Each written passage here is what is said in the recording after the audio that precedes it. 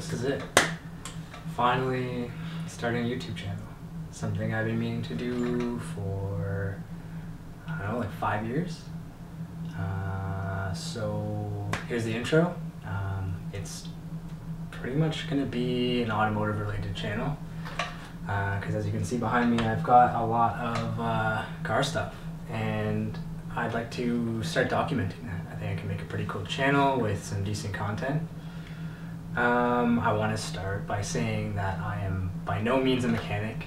It's all hobby.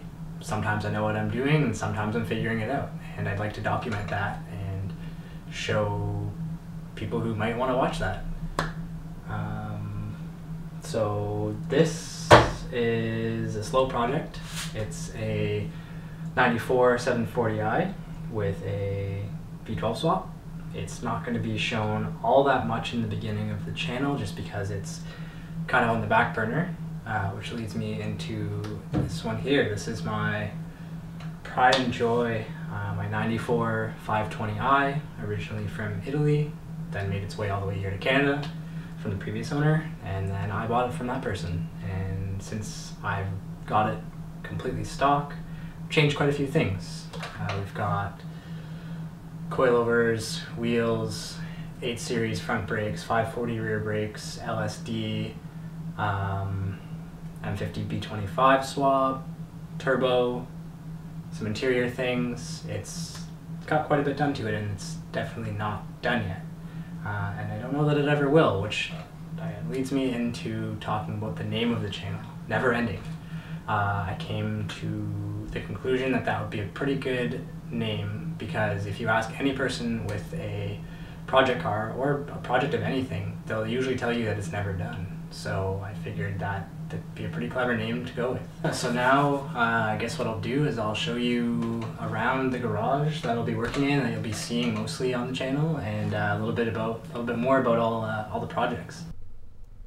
So this is it. My little garage that I get to work in.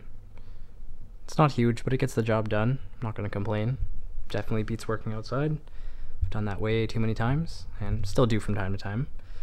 So, fit the two cars here decently, with some, some space for a bunch of other garbage, because I just collect way too much stuff. So, let's go and uh, see what we got. So, a couple of things which will probably get documented on the channel will be hopefully the build of this uh, the build of this M50. Uh, I've got some uh, work VSKFs here that I'm working on slowly, which I will showcase a little more in the channel as well, just the progress of it and uh, how I'm going about doing it. It's my first set of uh, three-piece wheels, and so it's been uh, a bit of a learning process, but definitely gonna take you guys along for the ride of that. As you can see, there's parts everywhere and there's just way too much stuff. We've got an M5 bumper up there, bunch of uh, M50 intake manifolds, coilover parts, more coilover parts, semi-slicks, a big mix of E90, E38, and E34 parts here. And we've got the E38 here. It's Calypso Rot Red. Style 32s, Style 95s. And what you guys probably want to hear a bit more about is the main project here, the E34.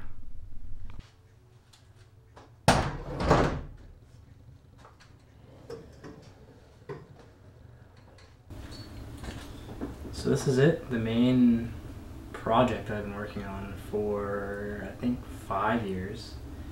It's been slow. First with suspension, then cooling, then brakes, and then finally last year I was able to turbo it.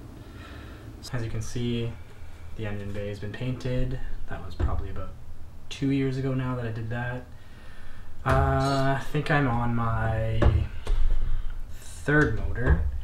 It was initially a 520 that came in the car, uh, or M50B20, which was swapped to an M50B25 stock NA. Used that for two years or so, and then made a 3 liter stroker M50, which uh, I messed up and didn't do properly, uh, which was then supercharged, and just uh, was a very terrible setup. So now it's back to a stock M50B25 here. And um, with that being said, uh, internally it's pretty stock. Um, nothing's been done yet. That's what the other motor that I was showing you guys earlier is for. That one's uh, hopefully going to be eventually built with uh, forged internals and all that jazz. Uh, but as you can see, there's a decently sized HX35 uh, over there. And I'm using the Rapid Spool Industries turbo manifold, custom exhaust all the way back. Um, it's pretty much home built. Uh, nothing too special just yet the plan was to have a basic setup for one season, work out all the kinks with the turbo setup, and then you know run it safely. I think it was about 7 psi, so not much of a power increase, but I have a couple of goodies on the way. Uh, I've got a uh, cut ring head gasket coming and a copper spacer, so we can hopefully turn up the boost a little bit more afterwards. So a few things to address on my setup that I'd like to change would be the mounting of the ECU. Uh, this is the uh, Megasquirt plug and play, um, which is initially intended for E36s, which use the same motor, but uh, that being said, it doesn't fit very well. Um, it's kind of just dangling around in there, and I'd like to come up with a uh, better solution for that. It's also a bunch of uh, wires kind of going everywhere. Uh, some of that was just me trying to test some inputs and outputs, and others are somewhat set up now, so it's now time to uh, clean that up. I also have my boost solenoid here uh, to control uh, boost, and um, even though I followed instructions and I think I have it all plumbed up correctly, it wasn't really working, so I'm going to address that. I would like to get the turbo itself powder coated. Uh, the turbo was rebuilt at some point. I don't know if they painted it during then, but uh, the paint isn't doing very well. It's been flaking off, so I'd like to powder coat it. Uh, I kind of want to go with uh, bit more of a black theme with things in here, so white engine bay with black accents. I want to paint the valve cover black, turbo black, um, maybe black intercooler piping. Moving on to the intercooler piping, it is something I do want to change as well. Um, not only the color, it's just uh, there's a lot of bends um, and a lot of couplers. I'd like to reduce the amount of couplers if at all possible, maybe get some Vibrant HD clamps or something similar. As you can see here, we've got the E36 Mishimoto uh, rad, um, full aluminum. It's been holding up pretty well. I've heard mixed reviews on them, but my take on it, it's been it's been holding up. I've had it for probably about three years now. I also have the um, Mishimoto HD.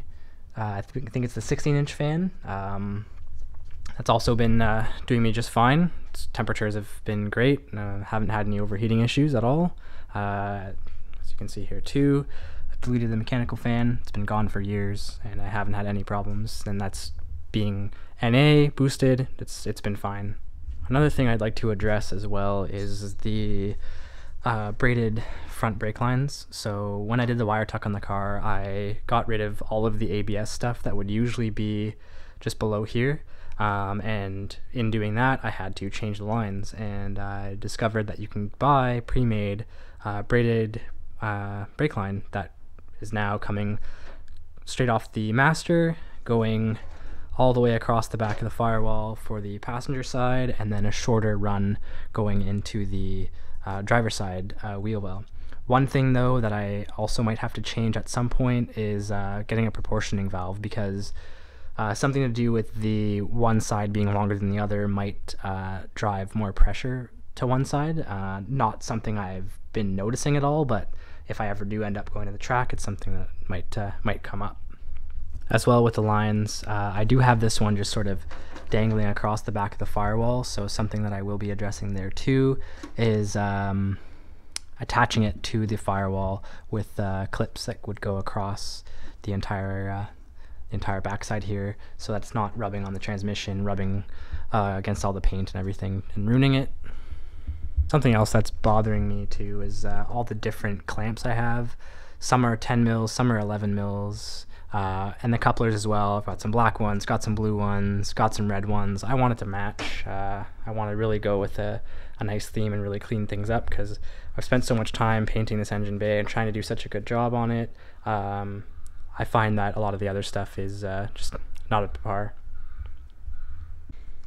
So moving on to the interior, something that's uh, pretty new to me is the NRG FRP basic seat. Um, holding me in pretty well.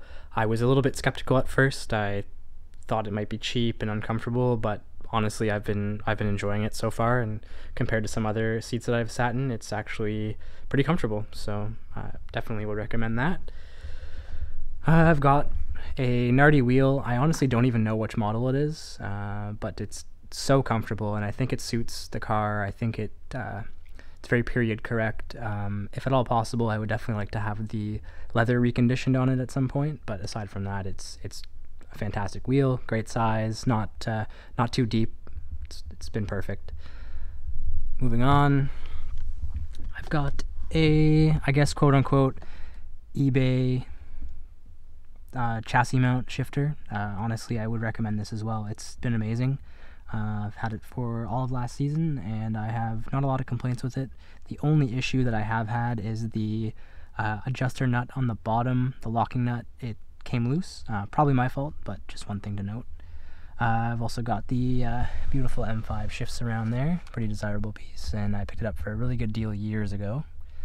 Behind that, which I unfortunately can't turn on at the moment because uh, the battery is out of the car and charging, since the car is technically stored for winter time, is uh, like a DIY Raspberry Pi uh, digital dash, so I can read everything off of my Megasquirt. And I can actually technically tune it on the go, but what it's mainly intended for is just displaying information. Moving on up, I've got my wideband and my oil pressure sensor. I know the oil pressure sensor looks archaic, however, uh, I did have a digital one and the sensor started to fail, so I decided to take a step back and get something a little more simple. So as for wheels here, I've got the MK Motorsport Mark 1s. Uh, these are 17s. The fronts are 17 by 8.5 and the rears are 17 by 10, I believe. So yeah, that's just a list of a few things that I want to do with the E34. So moving on into the slower project, I can start to cover the E38. So here's the mess that is my 94 740i and I got this car initially as a parts car to a 750 IL that I had, but it turns out this one is cleaner, and I'm always full of crazy ideas, and decided that I wanted to take the V12, slap it in here, and call it a day. And it turns out that that's not quite how it goes. Um, so as it sits right now, the V12 is in, the transmission is in, uh, I have had it running, and if I can find the video clip of that, um, I, I will I'll attach it, I'll put it in the video.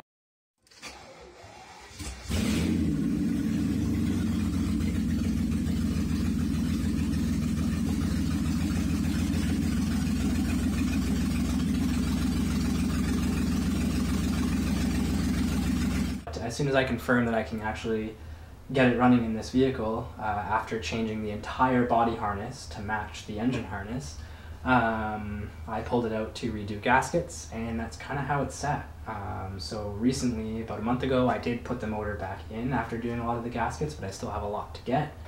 Um, aside from the V12, I have a full um, sport interior to put into it. Uh, it has uh, BC Racing Extreme Lows installed with uh, Swift with the Swift coil upgrade, uh, and I have a lot to do to this car, but uh, it probably won't be the highlight of the channel just yet. I want to focus on the E34 first, and then once I get more complete with that one, then I will focus more attention to this one. So I think that pretty much wraps up the intro to my channel. Uh, what I might do soon uh, when the weather gets a little nicer is show my daily and a couple of things that has done to it. Uh, there isn't going to be much in the way of mods for that car because it, it is just a daily, but uh, I might do some videos on regular maintenance that I have to do to it, such as like a wheel bearing, um, maybe a little bit of exhaust work and things like that. So if you want to follow along for the ride of me working on my projects and documenting mostly car related stuff, then feel free to subscribe. All right, have a good one.